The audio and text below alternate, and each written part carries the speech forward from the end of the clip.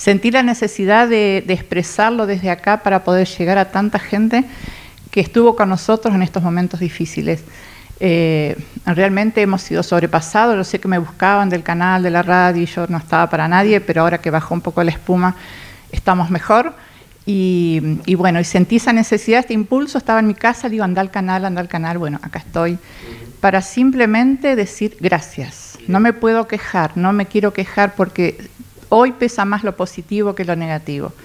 Realmente me encontré con una sociedad de Crespo súper solidaria.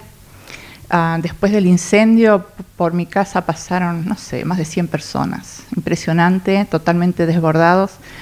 Pero todos con muestras de cariño, tratando de querer ayudar, tratando de, ver la manera de, cómo estar en este momento. Realmente nos sentimos muy abrazados, muy queridos.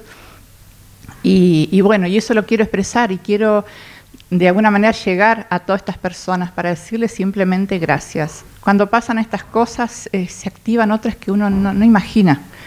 Crespo, alrededores, los amigos de la vida, eh, mis compañeros del secundario que hace más de 40 años, que están en distintas partes del mundo, todos se han puesto en contacto con nosotros. Así que nunca pensé que nos querían tanto. Realmente es, es así. Y, bueno, y lo hemos sentido, por eso hoy estamos tranquilos, en paz. Realmente Dios nos ha dado una paz increíble, porque eso lo quiero dejar, Dios nunca nos, nos abandona, aún en los momentos complicados.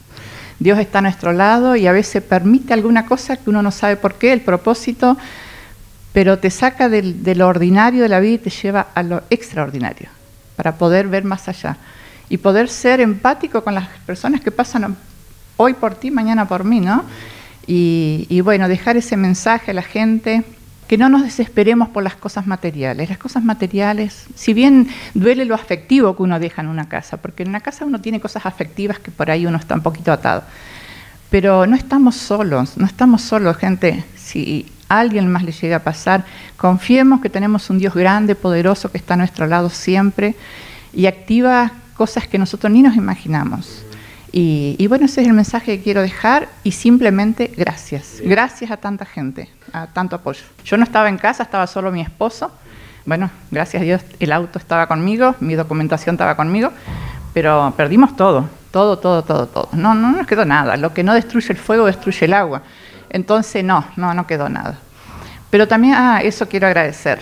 Agradecer al municipio. El municipio se ha portado de una manera extraordinaria con nosotros. A los dos días Vinieron las máquinas, las topadoras, se llevaron todo, limpiaron el terreno, que es bueno no, estar viendo eso todo el tiempo.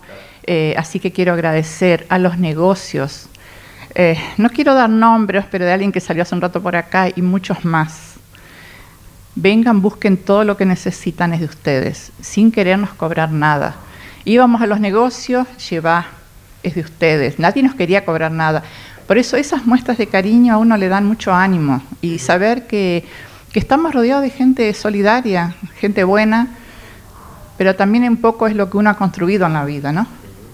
Por eso yo dejo ese mensaje, no nos apeguemos tanto a las cosas materiales, cuidemos nuestros afectos, nuestra familia, que la familia es el mayor sostén en, estos, en estas dificultades, porque cuando uno está rodeado de la familia, eh, la familia unida, ¿no? Es lo mejor que te puede pasar.